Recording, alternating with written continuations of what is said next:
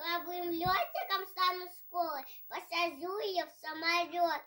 Не стряхну ее, не качну ее, отдохнет она наконец. Скажет, Ай, ай да внучек мой, ай да летчик мой, молодец.